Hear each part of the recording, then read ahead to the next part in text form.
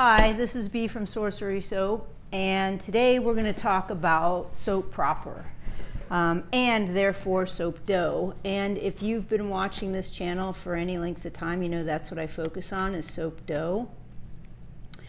And uh, I have written five books. Well, to be fair, four books I've written on the topic of soap dough.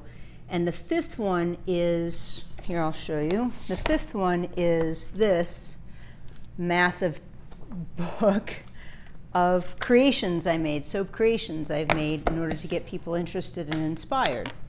So these are the four books, two of which, right here, are getting redesigned. So because I um, now am beginning to trust the people that follow this channel, I thought we'd have a talk. And um, Uh, the reason I said this is for people that don't know anything about me or don't or haven't ever seen this channel. This is the first time they've ever seen anything about soap dough. So soap dough is a pliable soap made from cold processed soap. With that said, I thought it was time that we discuss cold processed soap because I do have a video up which is rudimentary at best, but it was about excuse me, it was about me um, explaining the, the process of cold process, but it was okay.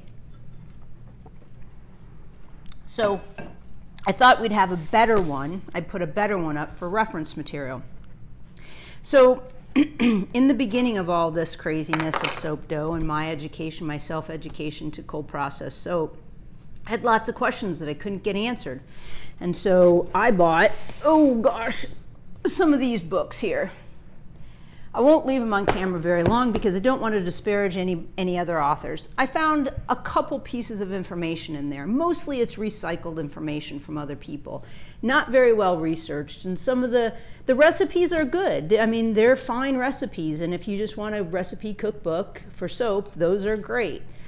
Um, so I started looking into it and I'm like, where did they get that information? Where, where's all this floating around? Where, like, where are the sources of it? So there's lots of online only books, which I find incredibly distressing. I mean, I can't actually get them printed because I'm a book person and I like books. So I started looking at, I mean, contacting museums and antiquated book people and uh, random things. Like I read this book on the history of witches and I contacted her to see maybe she, I mean, I just kept turning over every guess clue, every rock, I thought, well, maybe it's hidden under here. Maybe I can find it there. So then I decided, well, we're going to read this book. So this was my nightly reading for a while. Read the entire book. Um, good information. It gives you a broad overview of our history of chemistry. And it gave me a lot of names that I wasn't familiar with and who did what. And I learned from this book the word phlogiston. If for those of you who don't aren't familiar with that word, like I wasn't, the word phlogiston is a placeholder for a chemical process that happens when um, a material is heated and then loses weight or heated and or process opposite and then increases weight. The, the difference between this, they had a, they knew it was something, so they, they coined it phlogiston, which I just use the word magic or mystery. But um, let me see if I can find that before I continue on to these others. And I'll read it to you.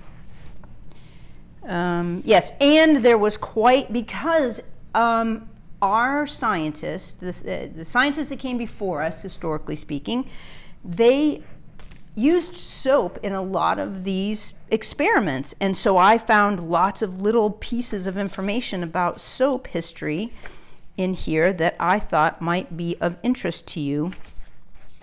So, and then there's a lot of political reasons why they didn't bring any of this to the foreground. And some of those political reasons were, uh, very interestingly, that um, if they, okay, it says, no person should either hold or teach any doctrine opposed to Aristotle or the church on penalty of death.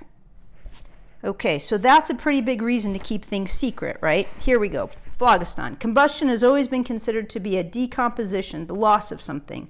Stahl now introduced a new concept, that was that what was lost was phlogiston. Phlogiston was a real substance that was transferred from one chemical to another. In smelting an ore heated with charcoal turned into a metal because phlogiston was transferred from the charcoal to the ore. On the other hand, in calcination, when the metal was heated in air, it became a powder or calyx because it lost phlogiston. Calcination and smelting were just reversible back and forth transfers of phlogiston. In effect, that was the first recognition of the fact that calcination is simply a slow combustion of metal. Phlogiston was also the ingredient that made alkalis caustic and powerful. When limes, limestone, soda, and potash were heated to high temperatures, they changed into quicklime, caustic soda, or lye. And a caustic potash, potash lye, because they picked up phlogiston from the fire. When these caustics were kept in open containers at room temperature, they became mild and lost their potency because their phlogiston leaked out into the air. Now, I don't have any argument with the fact that they didn't understand it and that they were deciding that they're going to hold that placeholder. The argument I have is that previously in this book, they claim um, so here's the other thing. I'm trying to do some critical thinking, okay? They claim that soap was primarily produced not for use in personal hygiene, but for the cloth industry centered in medieval Flanders. Okay, so if you want me to believe in phlogiston, but then you're telling me that soap was produced only for the cloth industry and that human beings were dirty because they were uneducated, I have a problem with that. And here's why because my common sense says to me that when I am dirty, I clean myself. There are a lot of people that when they're dirty, they do clean themselves. Some people will say that they smell, and that'll be their initiation into starting to clean themselves as adolescents. Other people have a process, they clean themselves every few days or whatever. But to tell me that the only time we had soap was to use it to make cloth, we were intelligent enough to make cloth, and the whole process of urine extraction and all that other process to make cloth and clean that cloth, but we weren't smart enough to use the cloth on our or to soap on our bodies. Anybody that works with with any kind of material knows that your hands and soap go into water and they come out cleaner. It didn't take a rocket science scientist to figure it out. It's common sense. You go into water. How are you going to scrub any kind of oil or harsh dirt on your body off with just water? It doesn't work. So the cloth makers, if nothing else, let's just give them that much. Give the historians the benefit of the doubt. If nothing else, that that the cloth makers knew that this chemical process, this soap, this alkaline substance that they were using to clean cloth could take it home to their families. Say, oh, here, use this, hon. Use it on the pots and pans instead of dirt, instead of sand to scrub it off. Okay, so let's move on. So that's one, one process of this. This book, valuable book, I highly recommend it. Lots of information, obviously. This is only some of it. I highlighted and I don't usually bend the corners, but I just mutilated this book, but it's still a very good book. Found this book hard, hard to find. This book has so much information in it. So this was printed in soap making at, uh, um, this is an educational booklet. Let's see. Oh, 1957. Sixth edition, 1957. Uh, January 1952 was the first published edition of this. So 1952, okay?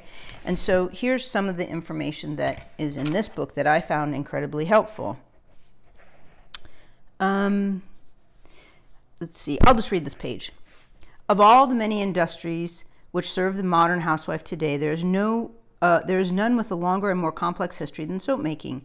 When one begins to trace back its origin, um, one finds, as in so many trades, that the first clues and hints nearly all originate from the ancient centers of culture that once bordered on the Mediterranean. This is not surprising, for the raw material, materials of soap making were easily available in those parts. There was a natural soda to be found in the Nile Valley, and animal and vegetable fats were also ready to hand. Indeed, in its fundamental principles, the art of soap making changed little till the chemical discoveries of the late 18th century. Okay. From Egypt, the art was carried by those hardy seafarers, the Phoenicians, to the south of France 600 years before the birth of Christ, and thence, nice word, thence, by the way, it spread north into Germany, west into Spain, and east into Italy. But it is strange to find that the Romans, 600 years later, were learning the art from the Gauls and the Germanic tribes.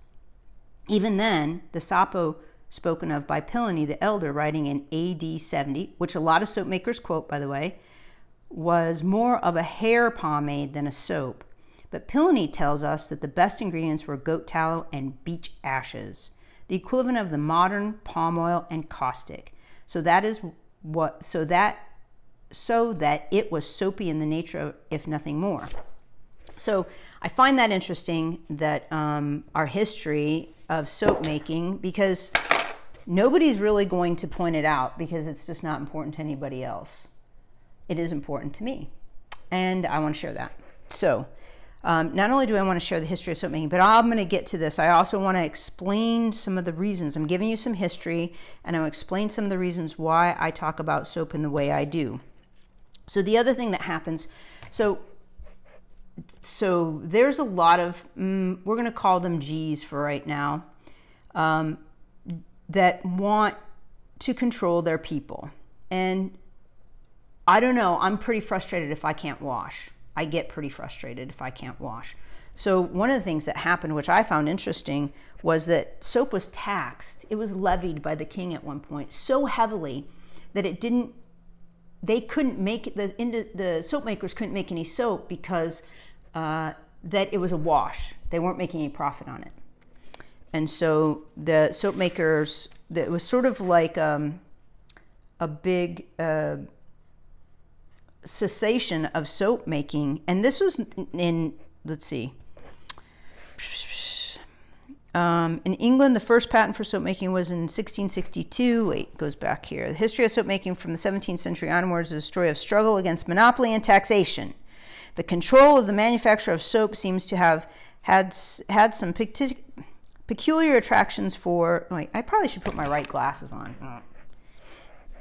The control of the manufacture of soap seems to have had some peculiar attraction for the legislatures, legislators and officials. In France, hmm, the king in France, which is Louis IV, had granted to one Pierre Rigaud a complete monopoly of soap manufacture for 20 years. And at the end of the century, manufacture was even prevented entirely during certain months of the year. These restrictions began only being only swept away by the revolution of 1793. Okie dokie. So then there was a tax so high. Um, they're giving me a bunch of details in here or giving us a bunch of details. And finally, there's a chancellor that came along and, and abolished the duty tax, and the revenue was as high as 1.1 to wait, one million one hundred and twenty-six thousand dollars. Okay.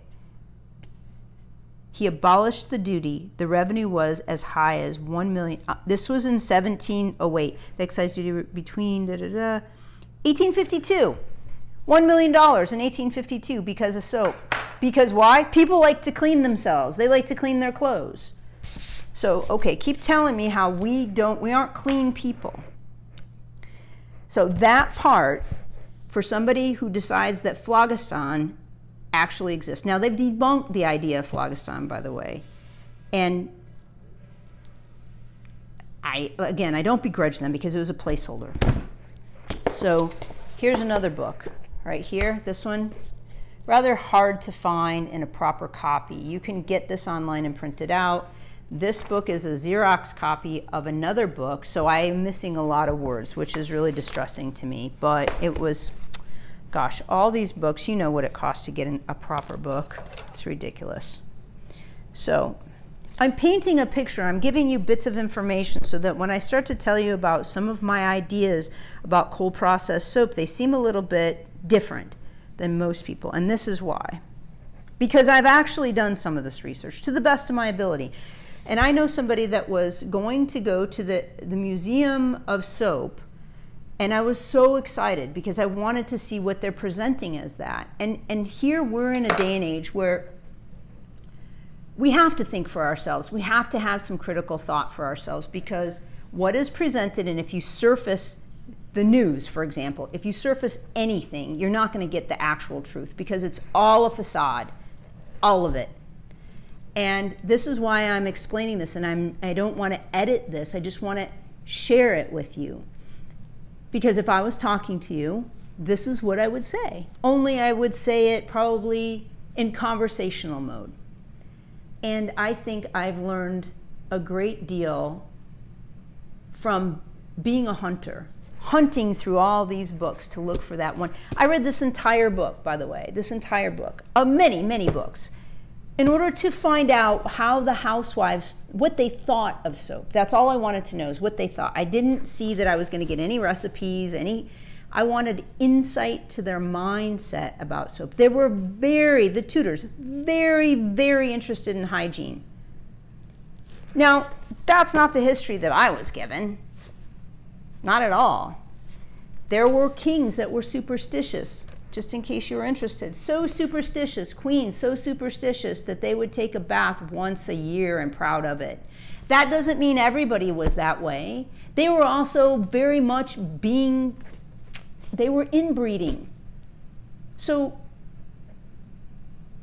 they were a different mindset than I don't have any royal blood in me. I'm not a, a rich aristocrat. I don't have servants. I don't think like that. Okay, so this book is called The Art of Soap Making, a practical handbook of the manufacture of hard and soft soaps, toilet soaps, etc., including an appendix of modern candle making. Now, some of my some of the titles of my books are rather long, but not that long. Anyway, but it's it's pretty explanatory. So I've read this entire book, by the way. Yes, and it's mostly dry and very boring. But I wanted to scour it to see. Okay, so here we go into saponification, the actual and proper way soap is made. Wait, before I get to that, let me. Okay, so this is. Mr. William Howe is, is the founder and the inventor of cold process soap. If you didn't know that, that's who he is. That's who is the founder of cold process soap. And um, he, okay, and so before I go on to that, I, don't know that I've ever read that in any other book. Like, that should be important information to our soap making history, right? You would think that. So there's another guy, because, you know, let's see. So this is cold process, by the way. This isn't Marseille soap. This isn't um, olive oil soap. This isn't any of those soaps. Those are different. Those are much more complex histories. I'm just talking about cold process. So just to be clear, okay. So here we go. It had long been the desire of soap makers to possess some process of saponification less tedious and costly than the ordinary systems of soap boiling. The previous part of this book talks about soap boiling, which, as we know, is hot process soap, but that's another thing.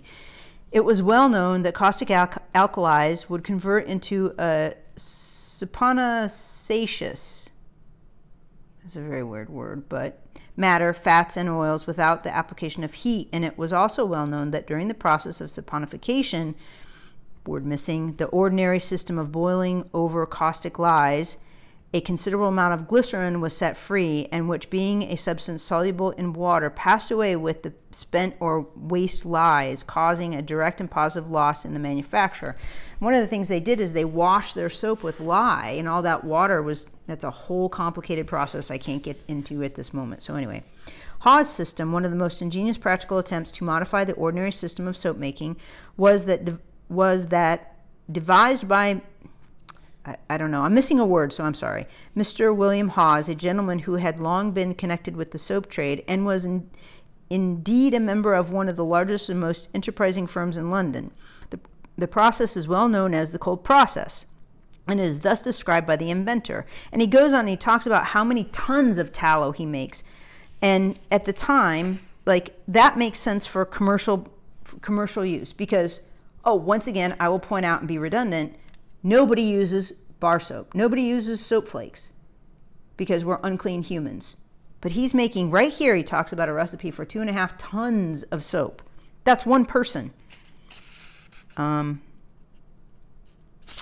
so then, okay, I'm going to get more to this. You don't have to worry about the rest of that information because you can read it, obviously, but this is the this is the the the core of what I was looking for. So motion being communi communicated to the machine and the cauldron having been previously charged with the tallow, which I don't really quite get that part. The lye is to be gradually added thereto, and in a short time, every particle of the fatty matter will be brought into an intimate contact with the alkaline lye. That is translation. We stick blend our soap. Okay. You have to use a mechanical device. We want it intimately contacted with the lye, the fats in the lye slash water. Okay. And by such means, saponification will take place.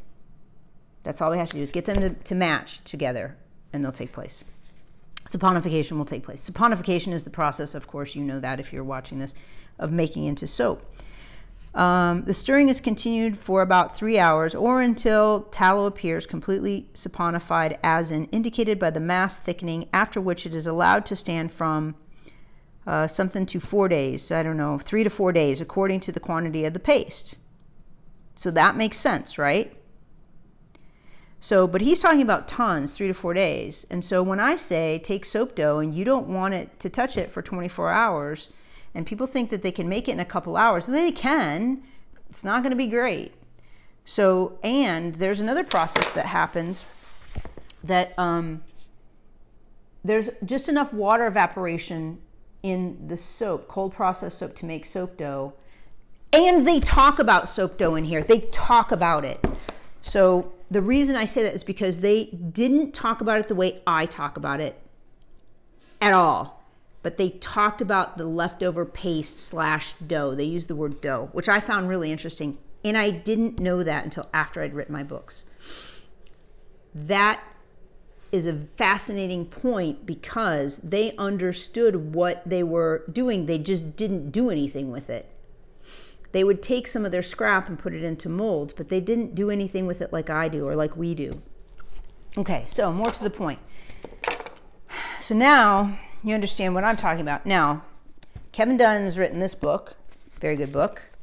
Uh, complicated. It's a complicated book, but I found some pieces in here that I like that help me explain the process of what I was watching with soap dough. And I will explain those also. He talks about water discounts. So one of the things he talks about, cold process warms more slowly and stays warm longer, indicating that the that the saponification is slower at low temperatures. Okay, slower at low temperatures. So obviously we know hot process, heat goes right up. We apply outside heat to hot process. We mix it up. Okay, and so the graph, if I can find the, a graph, I'll put it here. The graph starts hot and then it gradually goes down pretty quickly. It comes to room temperature, right? So with cold process and soap dough, therefore, cold process is heated between 80 because we have to, most coconut oil, all coconut oil I use, is supposed to melt at 76 degrees. It doesn't melt fully until 80 degrees. So they call it 76, but it doesn't melt fully until 83 degrees, something like that.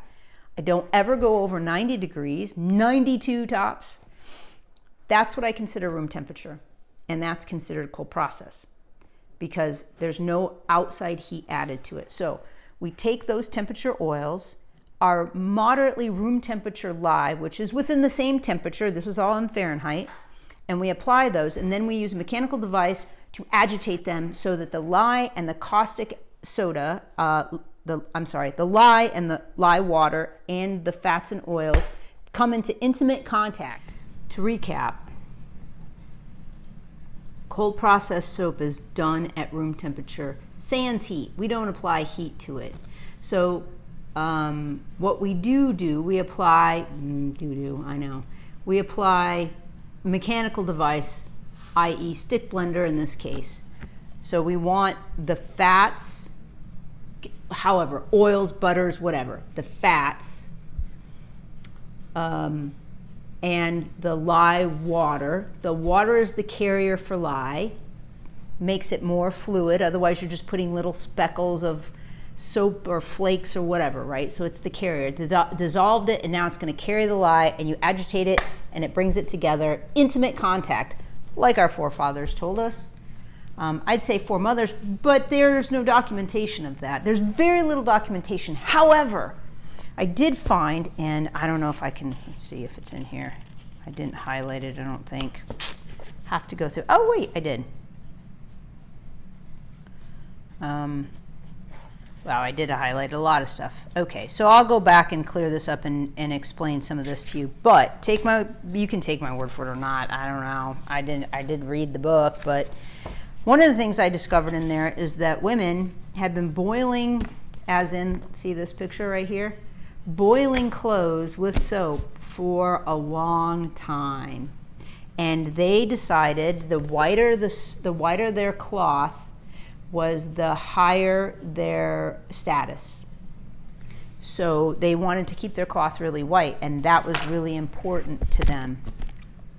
Okay, so hopefully I've made some sense about this cold process soap and now I want to talk to you about soap dough and why why soap dough works the way it does. So cold process soap is what I just described to you.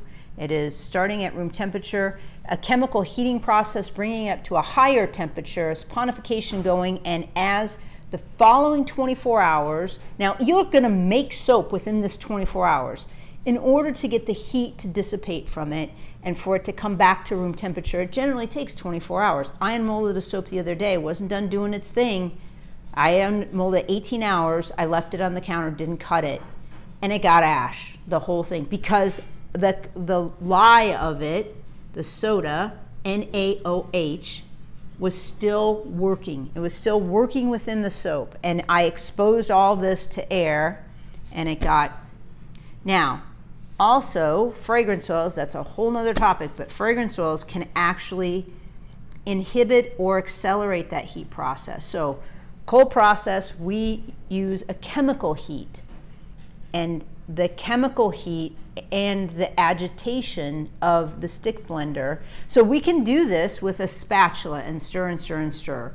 That soap that I was telling you about did not get enough uh, stick blending time and I hand stirred it because I wanted a really fluid pour. I didn't give it enough time to have intimate contact to agitate all that and therefore I got sort of chalky like soap that it's better today but it could have been way better had I just stick blended for a couple more minutes there's a very fine line for that too.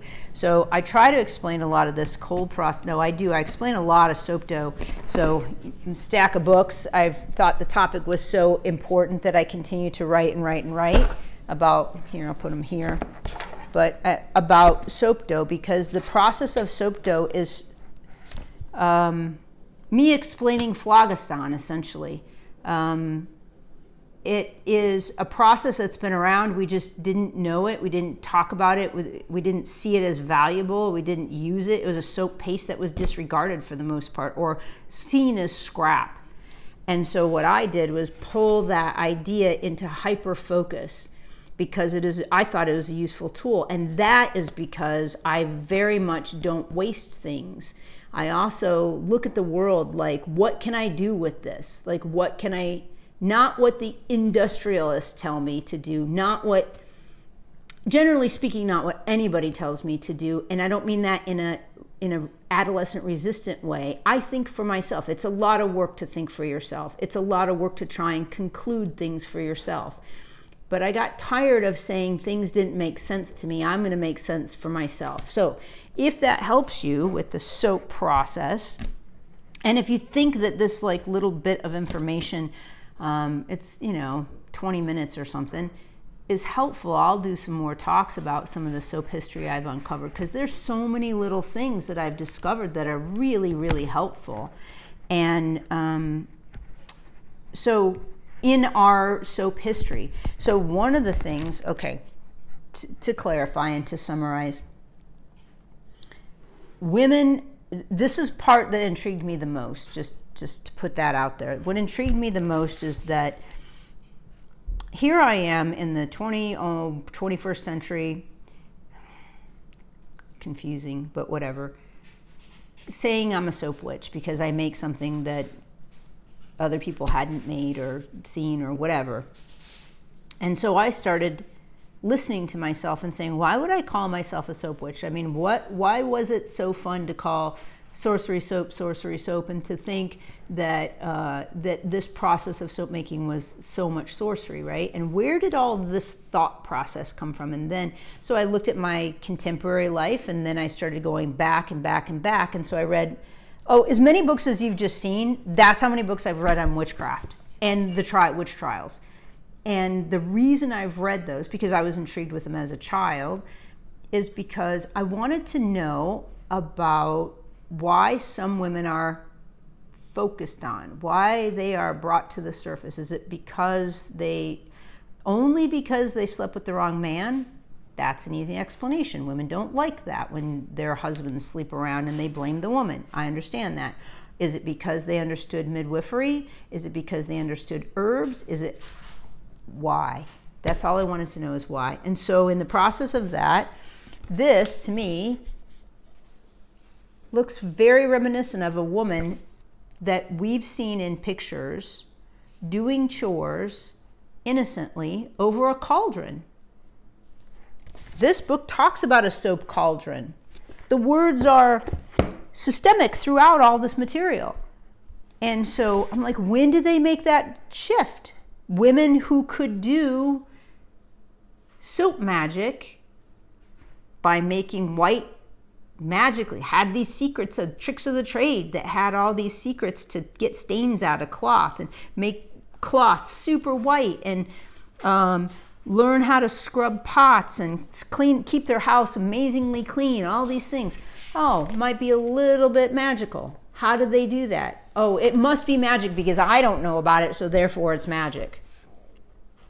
In a bad way though in a bad way. So that's why i'm talking about this is trying to put it out and explain to you where my information comes from. So, uh, the contemporary authors on soap making weren't satisfactory to me, hence why I've written some books. I wanted to bring some pieces of that out, which I haven't written enough about the history. I've put pieces in. Um, planted seeds about that. Um, there's lots of controversy about um, uh, Pompeii as well. Uh, some people said that they had a soap making factory, and then other people contradict that and said there wasn't a soap making factory, and it was this, that, and the other. And I'm like, I don't know. Uh, there were soap recipes. I discovered soap recipes. I didn't discover the recipes themselves. I discovered information about soap recipes written in cuneiform, which is our oldest living record of written language. Cuneiform. Now, personally, you have to be pretty committed to put something in stone uh, a recipe in stone. So that's what cuneiform was usually done. It was a little stylus of a triangle-ish shape, and then they push it into clay, and they'd use these these clay pieces as um, bill of lading or purchase receipts or recipes. So I don't know about you, but it took me a while to, to discover the fact that one of our oldest soap makings, it was a very simple soap recipe. And one of our oldest soap recipes is in cuneiform. Cuneiform is our oldest written language, way before anything else, way before um, the turn of the, the, the, beginning of this century, not century, this uh, period of time. So at the zero point. Uh, mm, anyway, we're going to start getting into BC, AD. So I don't know, I can't remember what the date was, but it was cuneiform was around long before that. And, and long before we zeroed out our calendar, or put it that way. And then um, the Mesopotamians got a hold of it because they were um, so the, it was just easy commerce to get a hold of some of those tablets and to see what everybody else was doing because that's where all con that was the, the center of commerce for the, the whole entire world was the Mesopotamia area. And I find it interesting that one of the riots in the Middle East, they defaced these old statues. Just a piece, just to find it interesting, um, because if we don't know what our history is at any form, any any bit of our history, how can we understand how to move forward? We just think we appeared with uh, talking devices attached to our hands. So anyway, I if you run across any books on soap making or old soap books, or I, I would appreciate it if you send them my way or just tell me the titles. I, I mean, really, I'll I'll buy them and look into them and see if they're valuable to me, because I know like oh I went to a um, uh, old bookstore. Oh, I love this bookstore, so wonderful. And I saw in here that there was some information on soap making, so I started to read this, and I thought that was valuable just because they have like soap presses and they have soap. Um, uh, they have soap machines that they make with agitation and a, a, whole variety of things in here that I have yet to read this book. But then there was another one that I don't even hesitate. Like, and I saw this one at Edgar Cayce. Now I don't really, I'm not a believer. Okay, so I'm not a believer. But Ed, Edgar Cayce had some serious insights to things that I don't know how he got that. And so I thought he has this whole book is on castor oil of all things for crying out loud. I was like, he has a whole philosophy on castor oil. That's crazy. So I'm working on reading that too. So tell me if this helped or if you have any questions. I know I covered a lot of material and I didn't format it because I just wanted you to hear how some of the things I wanted this to be out there. So I'll make another video just on cold process soap like I did before. Um, I guess I just I have very like you know I make these little sound bites and they're just they're they're I don't know. I'm not that person. I need to have the full picture, so that's why I make the full picture as best I can. So anyway, thanks for your patience and thanks for watching and thanks for listening and um, leave in the comments below and tell me what you think. And I have lots of information about soap dough. And there's a little um, at the top of the channel. Um, right under the banner, there's a little magnifying glass. And if you put a term in there and search it, you could search my whole channel. And so if I probably have, I have over mm, 250 videos or something. So you probably could find an answer to that. I've talked about a lot of stuff. So anyway, I really appreciate you being here. I appreciate all the comments lately. That's really cool. It makes me happy that there are kind people in this world. So there you go. Thanks. Bye.